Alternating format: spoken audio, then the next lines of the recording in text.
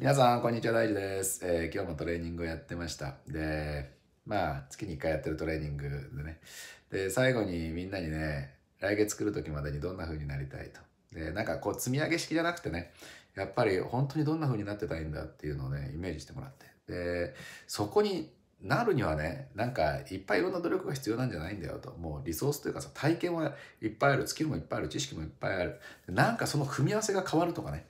なんかちょっとしたことで、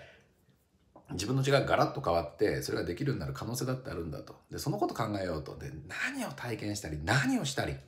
何を変えたらそっち側に行くんだろうかと。で一番効果的なやつやろうと。今までと違う練習やろうとかね。今までと違う体験この1ヶ月しようって、まあ、こういうふうに、えー働きかけてみんな、まあ、いろんな仮説作ってくれました。でその中でねあの一人いや多分自分的にはこれだと思うんだって言ってあの僕に相談してきてくれた人がいてでその人はセッションを受けたいっていうわけで本当何に関してセッションを受けたいのって言ったら自分自身を変えたいんだと。で自分自身やっぱりなんかうまくやろう上手にやろうっていうのがあってでその奥にはやっぱりかっこよく見せたいとかね人から評価されたいとかっていう気持ちがあると。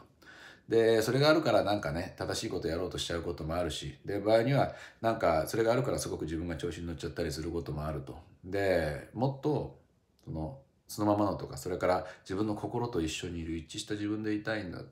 でそれがあってすごい真剣にねあの言ってくれてそういうのいいなと思うんですよね。やっぱりこれコーチングってそのまあ理論だとかスキルだとかあるけれどもその僕らがこの自分の体を使ってとかね自分のその、ねえー人間性というかその自分自身を全部使ってやるものだからやっぱり究極そこが変わっていくっていうことはすごく大きなインパクトがあるんですよね。で、えーアドラー心理学でいうと今のはその劣等感とかそれから虚栄心と言われるものと関係あると思うんだけどやっぱりこの自分にもっと自分に OK が出せるとかで自分は自分でいいんだとかね。っていう気持ちがあれ持ってたりもしくはこの自分の理想形に向かってやっぱりこういうふうに努力しでこういうふうに変わっていけるんだと。そしてそれがいいんだっていう気持ちになったら自分を大きく見せることもないしね。強く見せることもないし。で何か自分が黙っちゃうとかね。何かこう正しいことをやろうとそうじゃないことをやっちゃいけないんだみたいにななんかなってでやりたいことやれないとかね。その主張できないということもどんどんなくなってくるわけだし。で